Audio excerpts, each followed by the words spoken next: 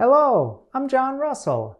Today, let's explore our last vowel sound, oi.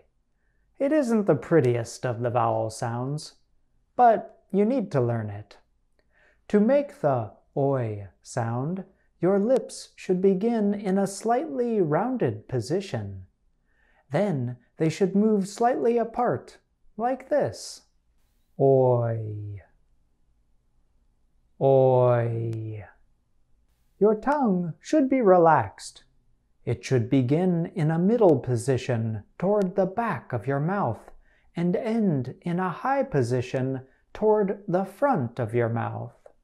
The oi sound has two common spellings, and they are pretty easy to remember. OI and OY.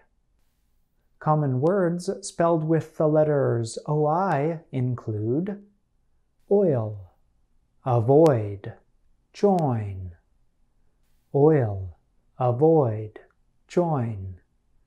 Common words spelled with the letters OY include toy, enjoy, employ, toy, enjoy, employ. Let's end this video with a quiz. Can you tell how many times I say the oi sound in this sentence?